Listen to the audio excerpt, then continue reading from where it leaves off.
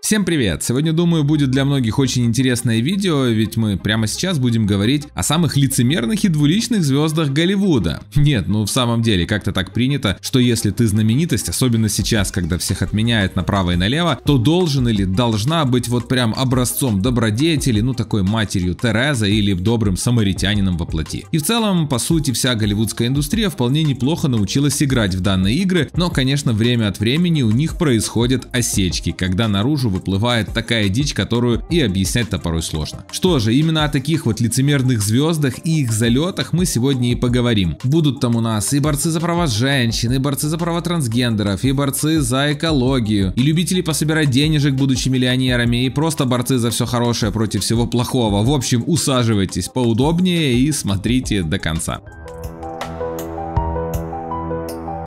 Ну а начать мне хочется с ситуации, которая возникла вокруг актрисы Алисы Милана. Думаю, часть из вас знакома с этой историей, кто-то нет, а еще меньше людей знают, чем в итоге все завершилось. Так что, думаю, интересно будет всем. Так вот, в феврале этого года случилось следующее. Звезда зачарованных Алиса Милана, актриса, чей звездный час в целом уже давно позади, но тем не менее, она все еще остается в списке голливудских богачей, ведь у Милана не было и нет по сей день дефицита в рекламных контрактах, которые, как известно, хорошо оплачиваются. К тому же у нее весьма влиятельный влиятельный и богатый супруг, он сейчас является одним из самых солидных голливудских агентов. Ну короче, это семейство не то что бедствует. И вот, в феврале этого года актриса разместила пост на площадке для сбора пожертвований с просьбой задонатить на поездку ее сына и его бейсбольной команды из элитной школы на какой-то там матч. Бейсбольная команда моего сына собирает деньги на поездку в Куперстаун, любая сумма будет очень полезна, написала актриса. То есть звезда зачарованных, которая считается миллионером, сама организовала онлайн-сбор сбор средств, а затем поделилась данной просьбой еще и со своими более чем тремя миллионами подписчиков в Твиттере. В ответ на это даже поклонники актрисы широко высмеяли данный пост, завалив ее ответными мемами, в том числе и теми, в которых говорилось, что она идентифицирует себя как бедная, когда приходится платить по счетам. Получив негативную реакцию, Милана принялась защищаться, рассказывая подписчикам, что она сама платила за форму всей команды для тренеров и так далее, но было уже поздно. И понятно, что никого такими аргументами было уже не убедить победить. Поэтому все, что осталось Милана, это сетовать на онлайн-компанию против нее. Но самое интересное, чем завершилась данная история. А закончилась она тем, что Алиса Милана, которая только что собирала по баксу для своего сынишки и его друзей из элитной школы, взяла да и в своей многомиллионной инсте и твиттере поделилась фоткой, как она с тем же отпрыском счастливо позирует на суперкубке, причем далеко не на худших местах, стоимость которых минимум пару тысяч баксов, а может и по десятке. Понятно, что шквал негодования и обвинений в лицемерии после такого поднялся еще больше, а мнение о данной знаменитости резко поменялось очень у многих. Хотя, кстати, недавно ей подстать сыграла и другая звезда Голливуда Кейт Бланшет. В целом, к данной актрисе лично у меня довольно-таки нейтральное отношение, без какого-то негатива. Тем не менее, отожгла она нехило, ведь будучи в Каннах и представляя свой новый фильм, Бланшет решила разоткровенничаться и толкнуть пару правильных речей. Так актриса подняла тему беженцев и стала рассказывать о своем взаимодействии с кинорежиссерами-беженцами и восторгалась тем, как изменилась ее жизнь после этих встреч. Далее она решила поднять извечную расовую теорию и, так скажем, умаслить тех, кто везде видит заговор. Кейт Бланшет начала напирать на цвет своей кожи, сказав, мол, она понимает, что из-за того, что она белая, у нее есть все белые привилегии, вроде как бальзам на душу любителям современной новой этики, но дальше бум, произошло неожиданное, цитирую. «Я белая, я привилегированная, я принадлежу к среднему классу, и я думаю, что можно обвинить человека в некотором комплексе белого спасителя, заявила актриса со сцены. Тут-то вся магия ее типа покаяния и развеялась, ведь состояние Кейт Бланшет на минуточку оценивается в 95 миллионов долларов. И после того, как дама с капиталом под сотку назвала себя средним классом, даже те, кто перед тем упивались ее псевдопризнаниями, тут же встали на дыбы. Несмотря на дальнейшие рассказы о проблемах беженцев и прочим и прочим, люди как будто просто перестали что-либо слышать и зацепились именно за фразу о среднем классе, которая, конечно, триггернула практически практически всех. В общем, ладно, после темы финансовой у нас идет несколько борцов по теме притеснения, воин полов и так далее. Понятно, что тут просто невозможно не вспомнить, например, Эмбер Хёрд, которая, начиная с 2018 года, строила из себя Агнца Божьего, невинную овечку, всю из себя добродетельную, почти что разрушила карьеру и жизнь своему бывшему мужу Джонни Деппу, который по сути и вытащил ее, пусть ненадолго, но все-таки в A-список звезд Голливуда. При этом, что оказалось на самом деле? Ну, помимо того, что большая часть всего, что говорила Хёрд, это тупая ложь. Помимо прочего, выяснилось, что данная «святая» в кавычках, конечно, сама отжигала по полной. Бухала, баловалась чем только можно и нельзя из всяких препаратиков, нападала на Джонни, подстраивала инсценировки, чтобы его подставить, а еще вела после всего этого лекции для женщин, у которых большие семейные проблемы. Но встречи эти были вовсе не бесплатные, что вы. Наша праведница брала по 30 тысяч баксов за свое часовое или полуторачасовое выступление. Вот такая вот дутая добродетель. Причем отметился в данном контексте и ее дружок, дружок Эмбер Джеймс Франко, с которым ей приписывали роман еще в то время, как она была замужем за Джей Ди. Но суть даже не в этом, а в том, что Франко, если послушать его публичные выступления, оказался горячим сторонником Эмбер, поборником женского движения МИТУ, в честь которого он толкал праведные речи на всяких красных дорожках, осуждал Джонни Деппа как мог и так далее. Все бы ничего, да вот только за самим Джеймсом Франко числится, как выяснилось, такой список подвигов в кавычках, за которые его в том числе пытались привлечь и к уголовной ответственности, что кому будешь тут заплетать про благочестивость и права женщин, но только не ему. Сюда же можно добавить и еще одну перегоревшую звезду Парис Хилтон, которая после угарной молодости тоже решила строить для себя имидж добродетельной Матроны. Так, например, на последней церемонии вручения Золотого Глобуса она носила черное в поддержку женского движения Times Up, однако ранее она же называла женщин, обвиняющих, скажем, президента Дональда Трампа в домогательствах, оппортунистками, лгуньями и так далее. Опять-таки очень-очень показательно. Теперь же от защитников и защитниц прав женщин давайте перейдем к защитникам прав транссообщества и ЛГБТ. Тут, конечно, самыми яркими представителями будут экранные детишки Джон Роулинг, Дэниел Рэдклифф, Эмма Уотсон и Руперт Гринд, которые, как мы уже много раз говорили, поспешили еще в 2020 году наброситься на свою маму Джоан, как они ее когда-то называли, якобы из-за того, что они ну вот прям всеми фибрами души поддерживают транслюдей и борются за их права. А на самом деле, вероятно, потому что взрослым уже актерам и особенно Дэниелу Рэдклиффу уж очень захотелось повесить на себя корону добродетеля и борца за все хорошее против всего плохого. Что из этого получилось? А получилось из этого многолетняя травля Джон Роулинг, которая чуть не привела к краху ее карьеры и всего, что создавала писательница. И, кстати говоря, не закончилась еще и по сей день, тогда как Рэдклифф, единственный из троицы, до сегодня продолжает время от времени в медийном поле, так скажем, кусать Джоан, не забывая при этом попиарить себя лично и свою страшную приверженность ЛГБТ и транс-сообществу, которая, кроме как на словах, особо более нигде не видна. Если же говорить о дутых и лицемерных типа феминистках, то можно смело сейчас вспомнить о той же Эми Уотсон и, скажем, Кристен Стюарт. Обе молодые актрисы уже последних лет 10 своей основной деятельностью выбрали не столько актерство, сколько активизм, в основном все-таки качая феминистичную тематику как свой главный козырь. Но прикол состоит в том, что опять-таки, когда журналисты покопали чуть глубже, то оказалось, что ни Эмма, ни Кристен из своих многомиллионных гонораров не спешат жертвовать на всяческие женские организации, фонды и прочее. То есть их борьба заканчивается примерно в том же месте, где начинаются деньги. И это, конечно, тоже очень забавно. Ну и наконец звезды-борцы за экологию и против изменения климата. Тут тоже курьезов хватает и, наверное, самые яркие происходят вокруг Тейлор Свифт и монаршей читы принца Гарри и Меган Маркл. Что касается Тейлор, то она неоднократно декларировала свою борьбу за экологию. При этом данная актриса и певица такая яростная фанатка частных самолетов, что ее, например, в прошлом году назвали в США одной из самых больших загрязнителей окружающей среды, ну если говорить именно о людях, а не о всяких заводах или комбинатах. Тут речь шла именно о тех выбросах, которые продуцируют private джеты, которыми активно пользуется Swift. А летать она любит, например, из Австралии в Штаты на игру своего бойфренда и вечером назад, ну и так далее. Причем понятно, что у барышни есть деньги, есть желание, почему бы и нет, ей никто не может запретить, просто тогда лучше уже не рядить на себя личину прям невероятного борца за экологию. То же самое можно сказать и про принца Гарри с его супругой, актрисой второго или даже третьего сорта Меган Маркл, которые тоже прям страшные борцы за экологию против изменения климата и страшные любители частных самолетов, что простебали в свое время даже авторы Южного парка. И летают эти двое тоже, конечно, по очень важным делам, например, скажем, на private jet на концерт той же Тейлор Свифт. Короче, искренность и не двуличность так и прет, правда? Ладно, хватит, пожалуй, на сегодня. Если хотите продолжение данной темы, вы знаете, что делать. Пишите об этом в комментариях и активно ставьте пальцы вверх.